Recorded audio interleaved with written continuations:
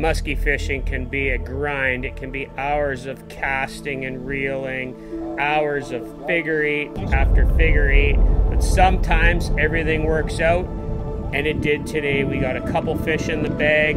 We're fishing out of Sunset Country Adventures on Edward Lake, and we got to show Jamie's wife, Michaela, that muskies are for real. Put your hand on the tail. There you go.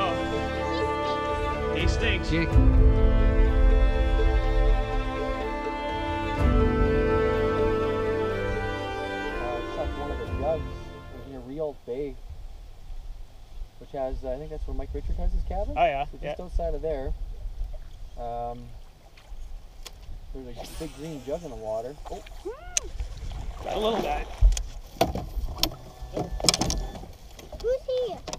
Oh, sorry, sweetheart. oh musky, a little musky. Your bill. Hey guys, Glenn McDonald, 54 Bust. I'm out here with Jamie, his daughter, and his wife. We were on our first spot, and you had said you were going to buy a growler just off of watching a video of ours. 100%, yeah. So Thatcher and Jody, he picked up a growler, and we got another one. We're on our first spot. It's a small one. It's not real big, but hey, it's a muskie. Muskie's a muskie. On yeah. the first That's what we're here spot. For. So first spot of the day, a little muskie. It's like a 30 incher, but you know what? It was right in the weeds. And oh, he's all beat up on the back. Let's see the other side. Can I see? And what that is, is actually a bacterial infection. It's harmless to the fish. It just just looks worse than it is. The other way, the, the bacteria thing. Oh, oh, oh. Yeah, I want to let him get back in. He's ready to go. There he goes. All right, we got one for the day to start. There he goes. No? Yeah, he's good. He didn't sting. His skin is ready. There he goes. It's not.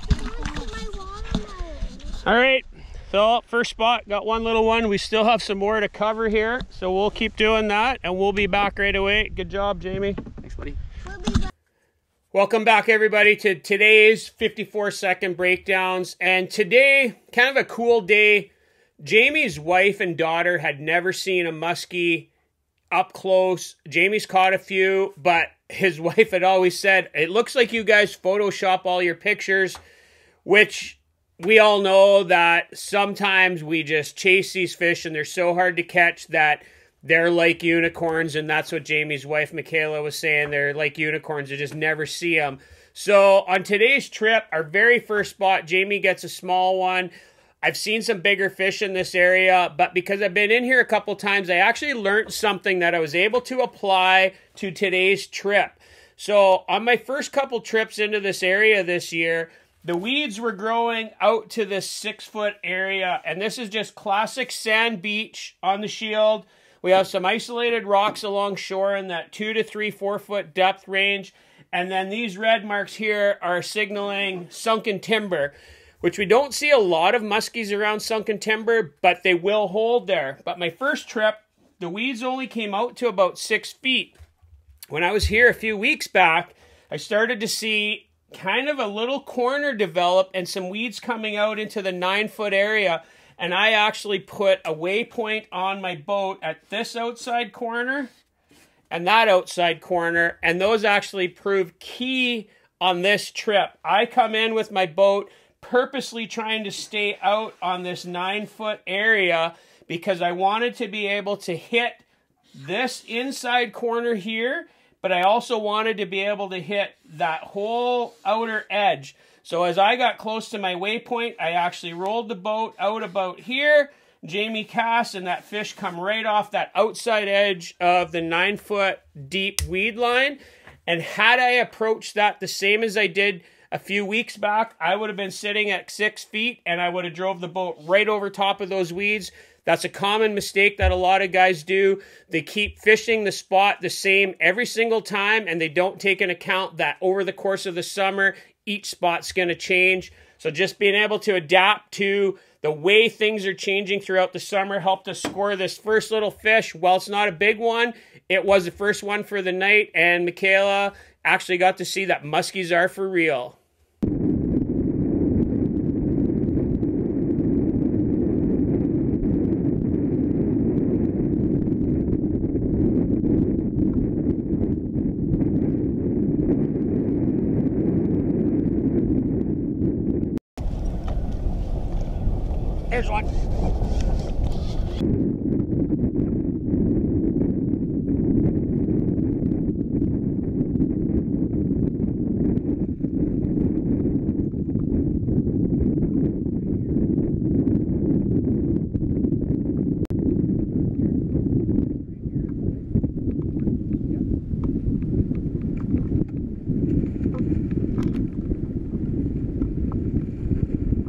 Big. Okay, guys, it's been been a pretty good grind. We had some action on a bigger fish. We're kind of wrapping up our day. Like Jamie said, we're kind of in the witching hour. and I put on the brand new jointed dipstick. I'm not gonna dig this out because this fish is pretty green, but there it is right there from Topline Baits. So I'm gonna give the camera to Jamie's wife and his daughter's gonna come up and get in the picture with us. Okay guys, for fish number two, I actually changed this up because I think there's a couple really key points here. Rather than show you the lake from the top, I wanted to show you kind of a 2D. So we have the shoreline over here.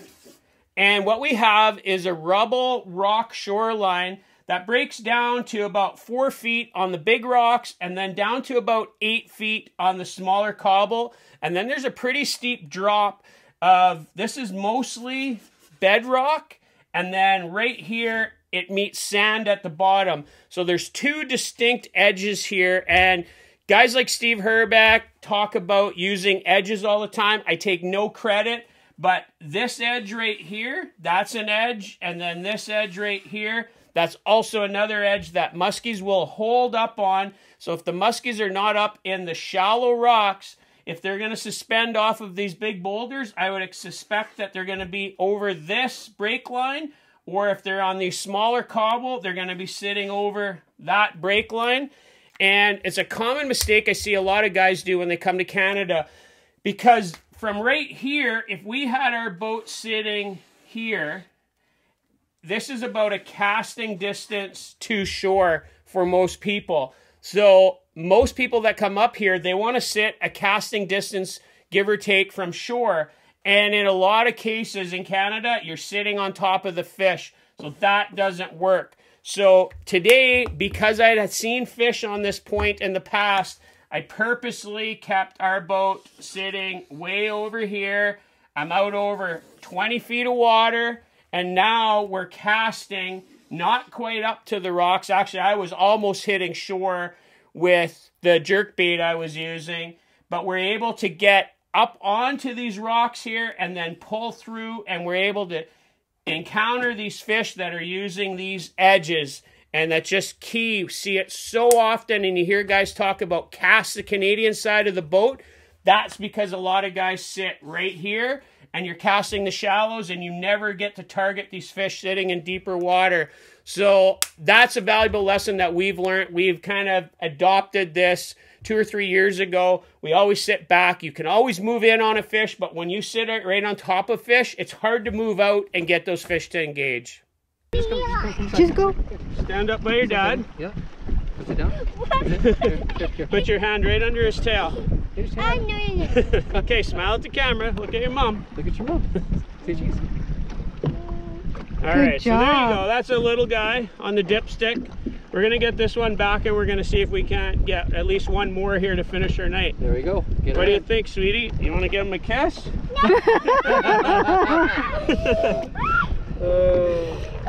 Oh, wow. Uh-oh. There he goes. There he goes. Mm-hmm.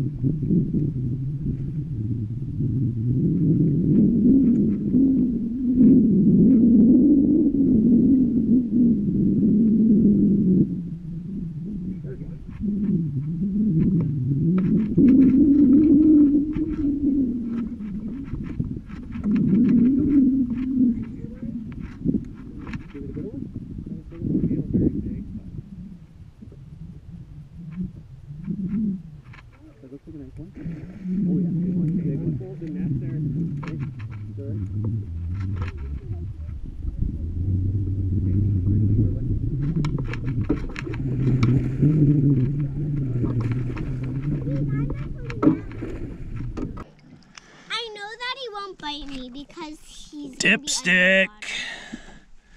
Another one on the dipstick. Okay, guys, so Don't put him too close to me. we got an excited little girl down here. So I just put that one back. We come in, we're around an island complex, and I told Jamie that I like this side because of all the rocks coming off. And again, the dipstick got hit way out from the boat. This is a bigger fish. This is probably Low to mid 40s. 42-ish. We'll leave it. We'll give it a quick bump here and have a look. Fish number three, absolute classic Canadian Shield Island rock complex. See these all over the Shield links up here. The deep side of it's 25 feet deep. Deep, deep break line on what would be kind of the southeast side. Don't see a lot of fish here in the summer. Fall time, we will see some fish. But the key to this spot is obviously these rocks that are kind of hanging off the western side of it. There's a little bit of cabbage in the back here. So we worked our boat around it. I'll use red. We worked around and we are kind of contacting all these areas, trying to hit the weeds here because I was thinking that fish would be holding in these shallow weeds in that three to four, five foot range. We didn't see anything there. And I actually told Jamie that I said, if we get down here, I'm going to be throwing my twitch bait into the rocks. And I was actually contacting all these rocks underwater here two or three times. Jamie was casting a spinner bait, I believe, off the just the outer edge. I actually hit some rocks here and I had to let, let it kind of suspend up. I gave it one pull and I got hit way out from the boat. The key with this spot is that in years past, this whole area, this whole flat out here between four and eight feet, this all used to have weeds in it. But the weeds are just not there anymore. Whether Rusty Cray's got them, a little bit of climate change, hot summers, long winters, I don't know the exact reason, but we see this a lot on shield lakes. Weeds that are there one year may start to dissipate over the course of a couple years. So fish are going to hold to available structure. So in this case, I honestly thought we'd see some fish holding in this small patch of weeds here. There wasn't one there. And if it's not there, they're going to be sitting in these rocks. And in this case, I would suspect that most fish are going to be looking out to the bigger water. So a fish is going to be sitting in here with his face out. We cast the bait over him and pull it back into the fish. Hit the rock a couple times, comes up in front of that fish's face and he grabs it. And we get the third of the night. But that's just classic shield fishing right there. So hopefully you guys like this fish. Okay, we're gonna actually bump this one, which is something I don't do a lot, but it's a decent fish, and because these guys haven't seen a lot of big fish, we'll bump this one. Pretty nice fish, just the same. Oh, Come on, girl. heavy? Just angry.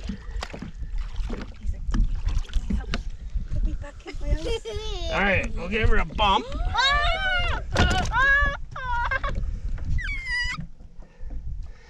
40 and a half, 40 and three quarters. Thick fish, though. Put your hand on the, the tail. There you go. He stinks. He stinks. Yeah, yeah, look Look over at here. your dad. Perfect. Beautiful fish. You got awesome pictures too. Yes. Awesome. All right, we'll get this one back. Slimy. They are very slimy. Sure. So he's got to hold the tail. Make sure that's ready to go, Julia. You want to come and hold him with me? Want to hold his tail, pal? No? Sure. No, thank you. Mama, do you want to hold the tail? Get him ready to go back in the water? No, I'm okay. You sure? Yeah. Let me scared of him, that's all. There, he's upright, getting Try his and bearings. Catch. All right, bye, girl. Good job. Okay. Good job, Slimy. All right, guys. So that's number three of the day. We're gonna hit one more spot just to wrap it up. But been an absolute fun day. Even though it was a bit of a grind, you know what? You got to take those grinds and just know that it'll happen. So let's finish this one off strong, and we'll catch you guys for a wrap here in a bit. Okay, guys, that's a wrap. Sunset. Sunset. Try that again. That's a blooper right there. Okay. Okay, guys, that's a wrap. Sunset Country Adventures, Indian Lake Chain. We're on Edward Lake. Definitely check them out. I'll put a link in the description below. Awesome spot. Tons of people stay here that I know. Always have a good time. Jamie and his wife and his daughter are here. We had a super fun day today. We ended up with three. And if you guys want to see some of the lures that we like to use on the Indian Lake chain, check out the link right here. And until next time, 54 Bust is out of here. We'll catch you guys out on the water later.